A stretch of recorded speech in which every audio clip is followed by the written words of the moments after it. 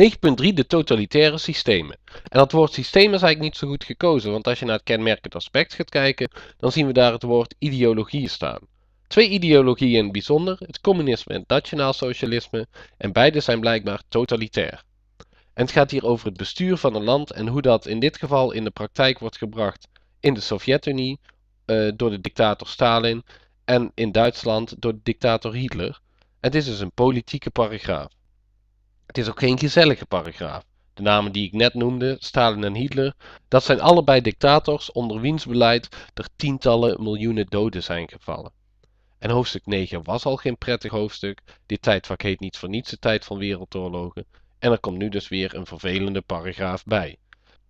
Als we dan even terug gaan kijken naar uh, hoofdstuk 9, dan hebben we die Eerste Wereldoorlog gezien en hebben die economische wereldcrisis gezien. En het was dus geen goede tijd voor Europa en de wereld.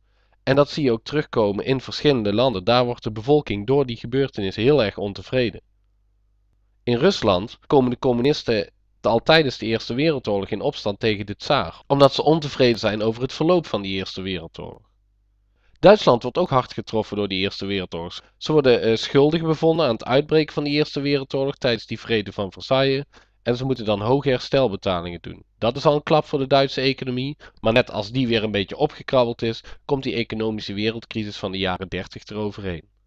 Dus ook in Duitsland is heel veel ontevredenheid. En hetzelfde geldt voor Italië. In dat land heerst er in de jaren na de Eerste Wereldoorlog grote politieke chaos. En ook daar mocht het Italiaanse volk. En dan zie je dus dat er populistische leiders opstaan die gaan zeggen dat ze voor verbetering voor dat volk zullen zorgen. Zoals gezegd, in 1917 zijn dat al de communisten in Rusland. In Italië wordt in 1922 de fascistische leider Mussolini de leider van de regering. En in 1933 zal in Duitsland Hitler aan de macht komen. En dit zijn alle drie voorbeelden van totalitaire staten. En we zullen nu eens even beter naar dat begrip gaan kijken. Niet naar totalitaire staten, maar naar het begrip uit kenmerkend aspect totalitaire ideologieën. En om die begrippen beter te bekijken, gaan we dit scherm even in tweeën splitsen. Eerst gaan we kijken naar wat totalitair nou precies inhoudt. Een totalitair systeem is een politiek systeem dat een totale controle van de maatschappij nastreeft, inclusief het denken en voelen van alle mensen. Alle mensen, dat is de bevolking. Hier hebben we ze. En blijkbaar moet die hele bevolking en hun hele leven moet in dienst staan van het politieke systeem.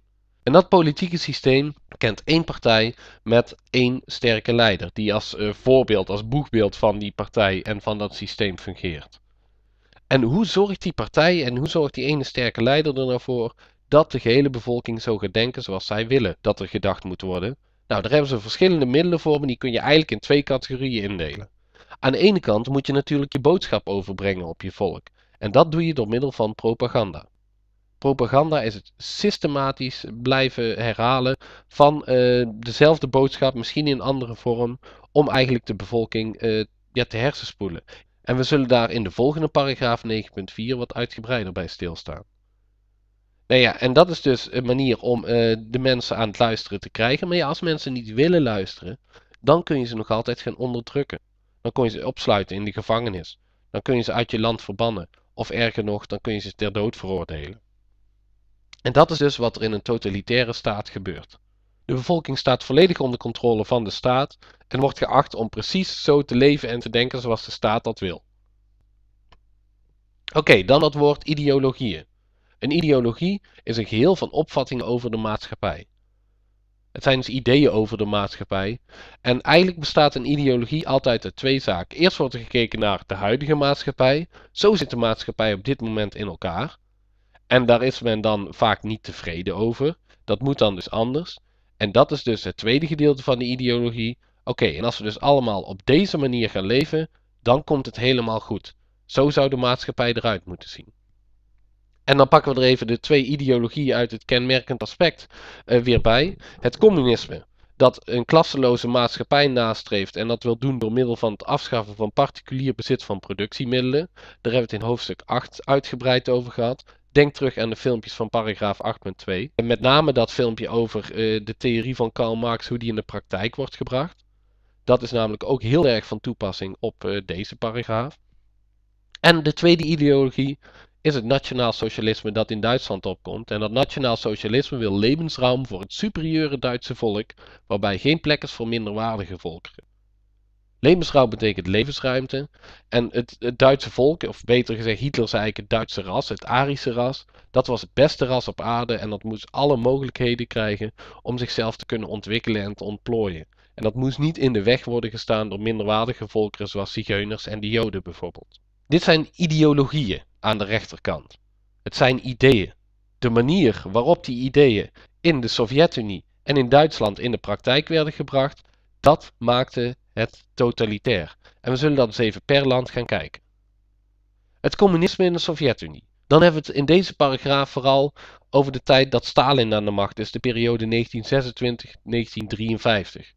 Want Stalin is die ene sterke leider. Hij is de voice, de baas van de communistische partij en dat was de enige partij die was toegestaan in de Sovjet-Unie. De Sovjet-Unie was dus duidelijk geen democratie.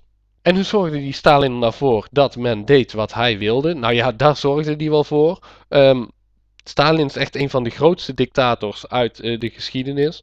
Dankzij zijn bewind zijn er ongeveer 20 miljoen mensen gestorven. Dus dat geeft wel aan dat het duidelijk geen pretje was om uh, in de Sovjet-Unie van Stalin te leven. Tenminste, als je niet aan de kant van Stalin stond. En uh, nou ja, hoe zorgde hij dus voor dat hij controle had? Dat deed hij dus door middel van propaganda en censuur. Hier zien we een mooie propagandaposter waar Stalin wordt afgebeeld als de goede vader voor alle verschillende volkeren die er in de Sovjet-Unie leefden. En tegelijkertijd maakt hij ook gebruik van censuur, achterhouden van informatie. Dat zien we hier heel goed terug. Onder zien we de originele foto staan. Maar uh, de man rechts op de foto zal uiteindelijk in de ogen van Stalin een tegenstander worden. En dan wordt hij van de foto afgehaald. En dan wordt er dus censuur gepleegd. Het bestaan van de man wordt op deze foto in ieder geval gewoon gewist. Daarnaast was Stalin heel erg van de onderdrukking. Uh, de politieke tegenstanders die werden uit de weg geruimd. En dat kon eigenlijk iedereen zijn. Stalin was redelijk paranoïde erin. Iemand die het ene jaar nog een vriend was, kon hij het volgende jaar niet meer vertrouwen. En dan kon het heel slecht met je aflopen. Hier op deze foto zien we al uh, de slachtoffers van een grote hongersnood in de Oekraïne. Die uh, Stalin bewust gecreëerd zou hebben. Ja, en hier zien we nog iets anders, de zogenaamde befaamde Gulag-archipel. Dat waren kampen in Siberië waar politieke tegenstanders naartoe werden gestuurd om daar aan het werk gezet te worden. En de meeste mensen keerden nooit meer terug uit die kampen uit Siberië, die overleden daar. En ook op andere manieren probeerde Stalin en zijn partij totale controle te krijgen over de bevolking. Zo was het totale controle over de economie, denk aan die vijfjarenplannen. Zo was het totale controle over de kunst, de enige stijl die was toegestaan was socialistisch realisme.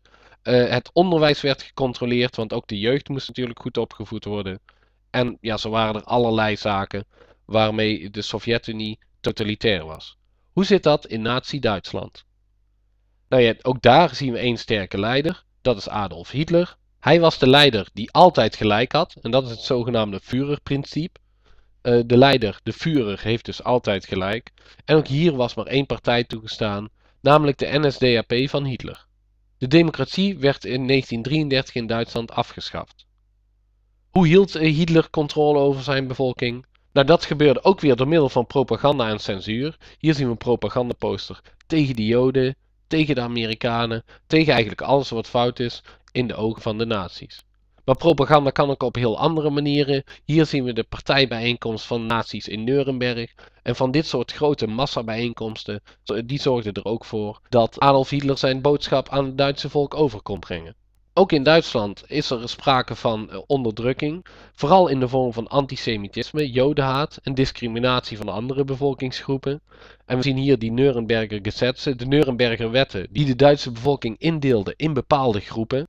En bepaalde groepen hadden wel rechten en uh, de rechter twee groepen waar je de meeste zwarte bolletjes ziet staan, dat waren de Joden en die werden hun burgerrechten afgenomen. En dat is ook weer een kenmerk van een totalitaire staat, er zijn geen burgerrechten meer.